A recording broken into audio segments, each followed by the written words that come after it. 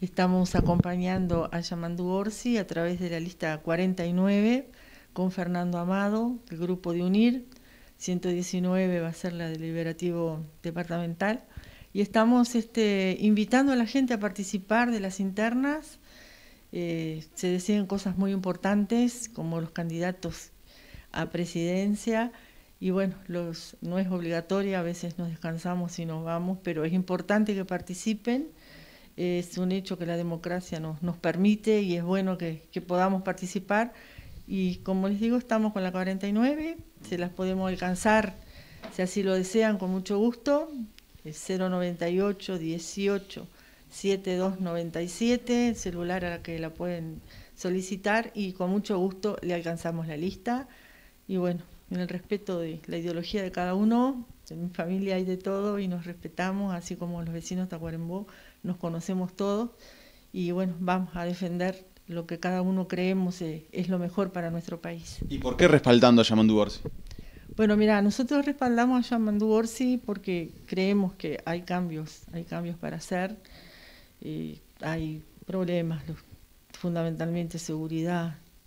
Yo estoy jubilada, así que jubilados con muy poquita jubilación, hay problemas, falta de trabajo, acá en Tahuarembú se ve mucho, y pensamos que por ahí, por ese lado, podemos este, darle una mano a la gente que está más necesitada, que es lo que el Frente siempre ha hecho, y militar a través de, de Yamandú Orsi, y bueno, lo que decidan los ciudadanos después, el, el 30, seguiremos con quien el Frente decida que es el que tiene que ir este, como candidato, seguiremos adelante.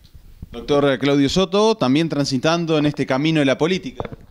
Bueno, eh, ¿qué tal? Muy agradecido por la invitación y felicitaciones por el cumpleaños de esta casa periodística de tan larga trayectoria. Este, sí, la verdad que mm, lo hablamos anteriormente con María. Eh, la participación en cualquier batalla de orden este, política o cultural o social nunca implica tener este, de antemano ni la victoria ni la derrota asegurada, sino que es un compromiso social para que la participación de la gente haga que la gente pueda realmente forjar su propio destino.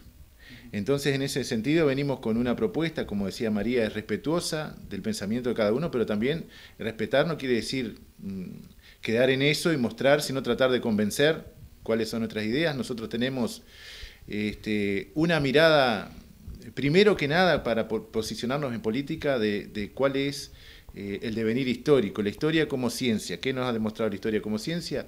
Bueno, de que hay una lucha de intereses en nuestras sociedades desde temprana edad, donde el, motor principal fue el, desarrollo productivo, donde alguien se apropió de los excedentes y a partir de ahí hubieron básicamente dos intereses, los que son los dueños de producción para que se mantenga esa situación y gente que en realidad muchas veces resulta este, oprimida y genera este, bueno, un, vamos a decir, un sobrante.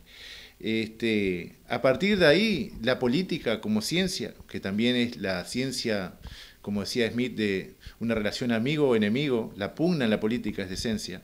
Por algo tenemos problemas de inseguridad, todos los políticos lo asumen, pero no hay una coincidencia en cómo resolverla. Entonces la pugna es de esencia.